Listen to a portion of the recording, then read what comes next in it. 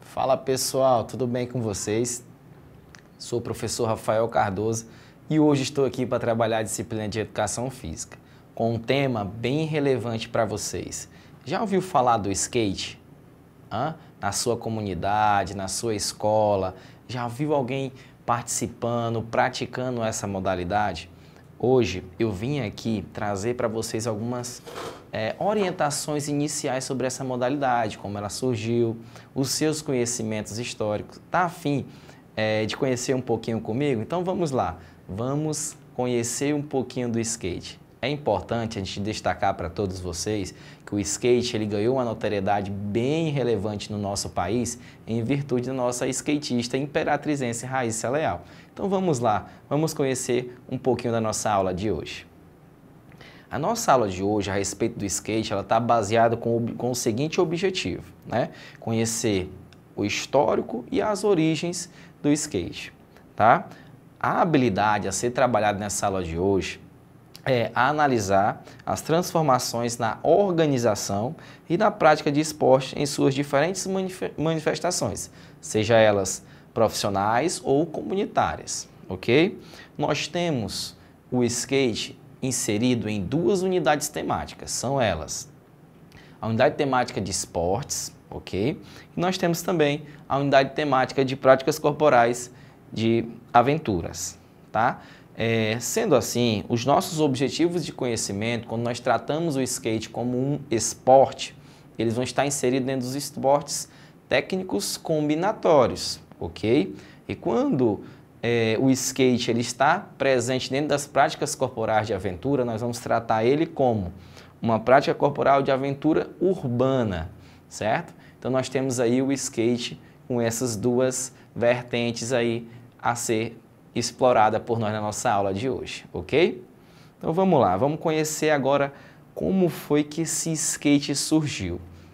Então, nós podemos entender que o skate ele surgiu no estado da Califórnia, né, lá nos Estados Unidos, na década de 50, aonde nós tínhamos a participação de surfistas. Olha só que legal. O skate ele foi inserido por surfistas tá? Você já, já imaginava essa, esse início dessa modalidade? Então, o surf dando aí uma origem ao skate, duas modalidades bem atuais, aonde, inclusive, nós temos brasileiros aí no top, né? Número 1, um, 2 do mundo. É, que torna mais interessante a gente tornar os nossos conhecimentos a respeito dessas, dessas modalidades aqui com vocês. Então, os surfistas, como foi que ele deu essa ideia inicial à modalidade de skate? ao momento de maré baixa, né, poucas ondas, eles resolveram adaptar as rodas de patins às suas pranchas. E olha só que interessante, a partir disso começou as primeiras manifestações no skate. Os surfistas pegaram ali as suas pranchas no momento de maré baixa, poucas ondas, mais precisamente lá no estado da Califórnia, né, nos Estados Unidos, e iniciaram as primeiras atividades aí é ao skate. Inicialmente, por ser surfistas, eles deram o primeiro, surf, no, primeiro nome ao skate, o surf do asfalto. E aí, assim por diante, as práticas de skate elas começaram a aumentar é, lá nos Estados Unidos. E a partir disso, ele começou a se disseminar ali dentro dos estados dos Estados Unidos e aí começou também a ampliar o repertório e se disseminar por todo o território mundial. Desta forma, nós tivemos ali as primeiras manifestações nos Estados Unidos, né? os surfistas iniciaram essa prática, é, começaram a disseminar ali dentro dos Estados Unidos, em vários estados, até conseguir uma abrangência do território mundial. Assim, o skate começou a ter uma repercussão em todo o mundo convido vocês a observar junto comigo algumas imagens que trazem esse início da prática esportiva do skate. Olha só que interessante, as nossas primeiras imagens dos skates é, quando ele surgiu. Olha que interessante, vocês observam que ele era totalmente plano, né? As, é, é, as rodinhas adaptadas de patins e aí nós temos as primeiras imagens que possam é, é, é, representar o início aí dessa modalidade. Olha que interessante, vou trazer uma outra imagem para vocês, que nesse momento a gente observa que né, esses primeiros skates começam a ganhar características diferentes. Olha só que o exemplo aqui, basicamente ele está bem parecido né, dentro dessa imagem, uma mini prancha Observem essas imagens aí coletadas para que se possa demonstrar o início dessa modalidade para vocês. Vamos fazer referências aos skates que nós temos hoje na atualidade. É, a gente observa que nessas primeiras imagens ele não tem é, é, uma cobertura né, ali de maneira que possa é, dar uma maior aderência à, à, à prática da modalidade. A gente observa que essas primeiras imagens ela tem apenas né, o material é, é, de madeira e aí aonde ele não, tá, não dá ali uma tanta uma vamos dizer assim uma segurança para o praticante nessa modalidade nesses primeiros momentos aí atuais. E é claro que isso né, foi se surgindo a necessidade de você adaptar algumas situações para que se possa melhor desenvolver a prática da modalidade.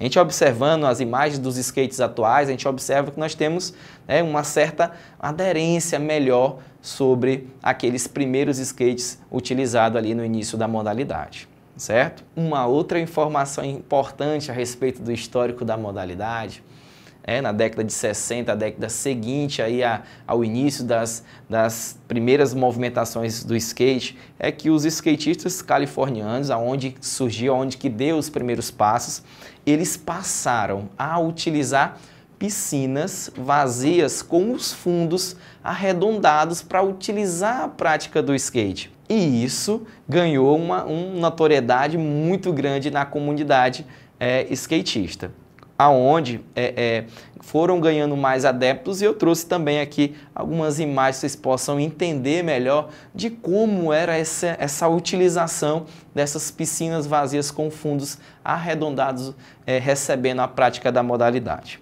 Olha só que legal essa imagem. Observa comigo aí, ó. é como se fosse, né?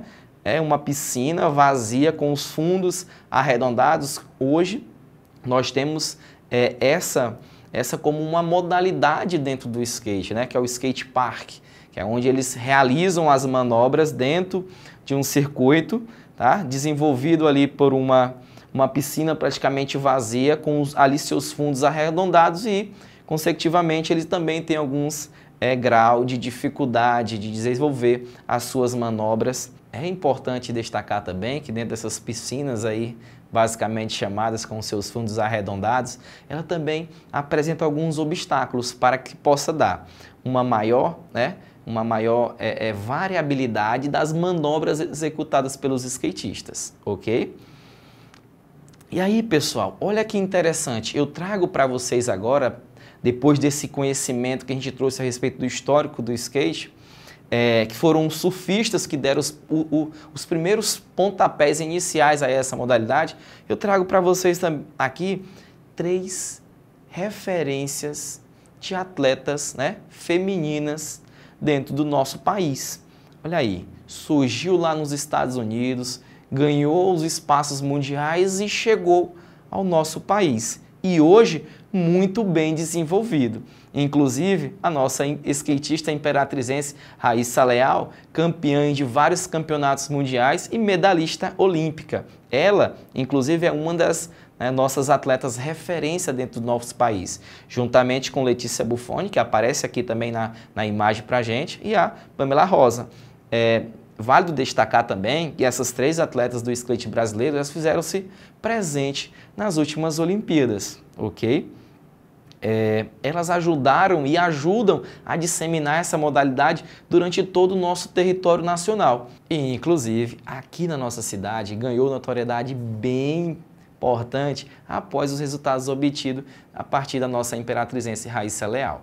Então, pessoal, agora é a hora de ouvir você. Te convido a participar junto comigo da nossa aula a respeito do skate.